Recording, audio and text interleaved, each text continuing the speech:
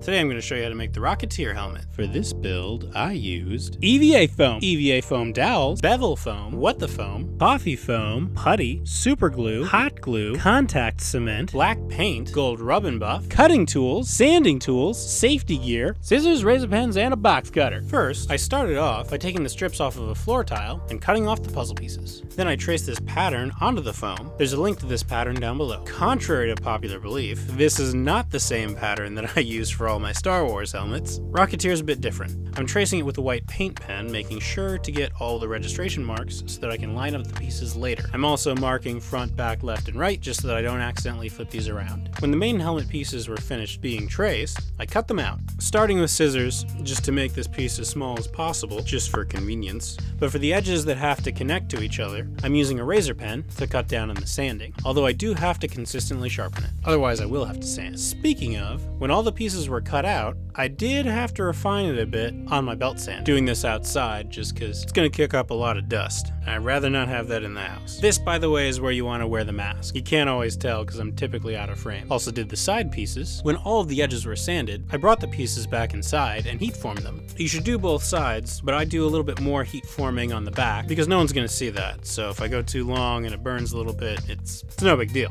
You know, out of sight, out of mind. When each piece was hot enough, I formed them to be curved.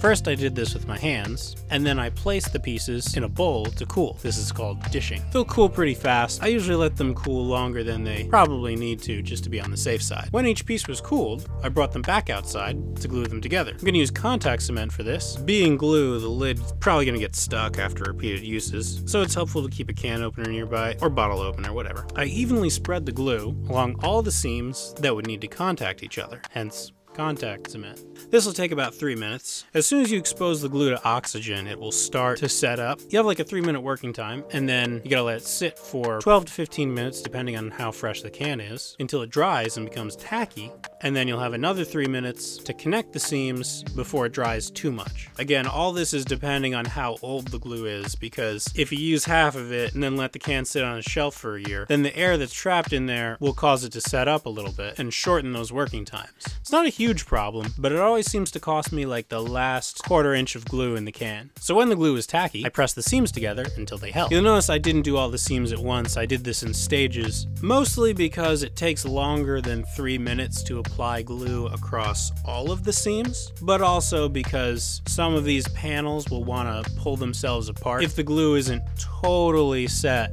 on those under stress seams beforehand. Hmm, looks like a fender. When all the pieces were together, I had a basic blank helmet. I cut the brim to have a little bit of a slant to it to match the Rocketeer. Then I carefully figured out the shape of the fin.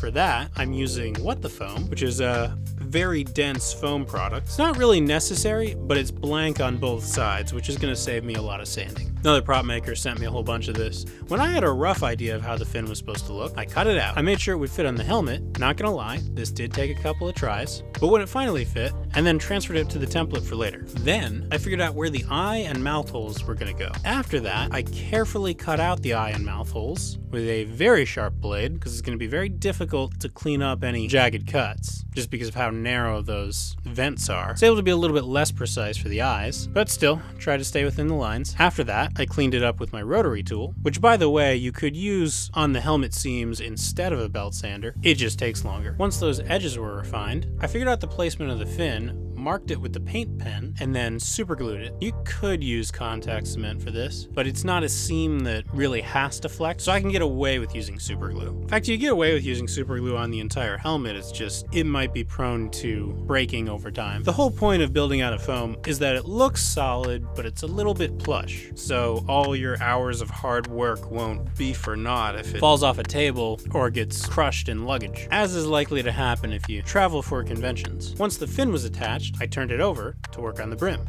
Then I took one of the puzzle piece strips from before, cut the pieces off of that, and then glued it to the brim of the helmet. Now that all the main pieces are attached, I can work on the details. There are these swoopy lines that a lot of people use square pieces for, but that uh, doesn't look right to me. It may be, but it just reads as weird to me. So I'm gonna use half cylinder bevels. I think these are from TNT Cosplay Supply. Yeah, I cut them down to size and then super glued them on. I did this very slowly and carefully because if you mess up with super glue, it's kind of a pain to fix. You'd basically end up being forced to sand and refill in order to erase your mistake. It was time consuming, but I eventually got them all on there. Then for the air scoops, I took a foam dowel and sliced off a slanted piece. Then I carefully used my rotary tool with the wide drum-shaped sanding bit to sand a trench in the back of it underneath it. You don't have to go the entire length because the curvature of the helmet you can't really see that far down, but you do want the outer edge to be as well sanded as possible. See, a lot of people fall into the trap of trying to make the vents out of a flat piece of foam. Not blaming them, I nearly did. But it just doesn't look right, and these pieces are pre-formed, so why not go for it? Why not take advantage of that?